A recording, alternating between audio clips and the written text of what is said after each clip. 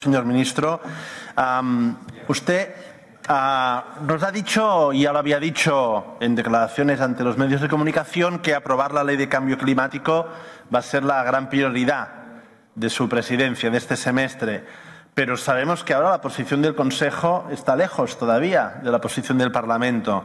Entonces, mm, no le pido que revele ninguna de sus cartas ni que explique los detalles de su estrategia, pero queremos confiar en usted.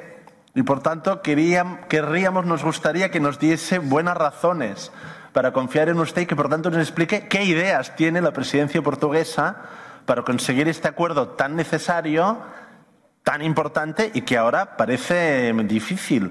Más allá de apelar a la responsabilidad de los Estados, que es evidente que forma parte del relato, pero solo con esta apelación a la responsabilidad creo que no va a ser suficiente. ¿Qué propondrá la presidencia portuguesa para conseguir este acuerdo sin que el Parlamento tenga que renunciar a sus posiciones, que nos parecen no de máximos, sino de mínimos?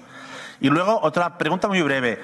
Uh, no hay ley de cambio climático si no impulsamos el CBIM, el Carbon Border Adjust Mechanism. Y esto abre un debate político muy complejo y un debate técnico también muy complejo.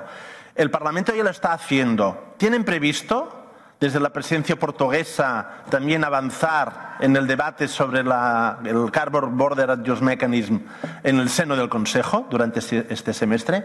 Y muchas gracias, muchísimas gracias.